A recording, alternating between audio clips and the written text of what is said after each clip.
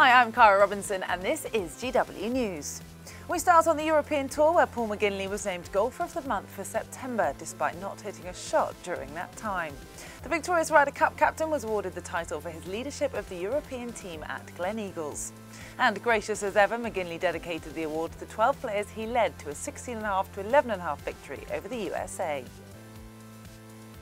The final field of 16 for next week's Volvo World Match Play Championship has been announced. Six members of the victorious European team will be in action alongside one US counterpart. Patrick Reed will be the sole American teeing it up at the London Club. Reed will be making his return to match play, having finished unbeaten in his four matches during his rookie performance at Gleneagles. and he joins his Ryder Cup rivals Graeme McDowell, Henrik Stenson, Thomas Bjorn, Jamie Donaldson, Victor Dubuisson and Stephen Gallagher.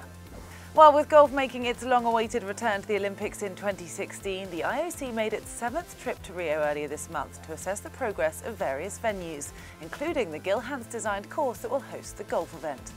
The Olympic golf course has been beset by numerous legal and construction delays, partly due to the environmental challenge concerning damage to the Atlantic rainforest area. But the IOC are confident that the organisers now have the situation under control and left Brazil with cautious optimism. Finally, Brandt Snedeker has this week swapped the driving range for the shooting range, having posted a video that shows him successfully shooting down a clay pigeon with his four iron. Oh! oh!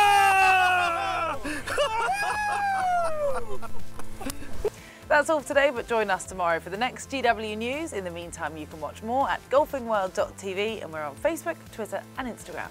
Bye for now.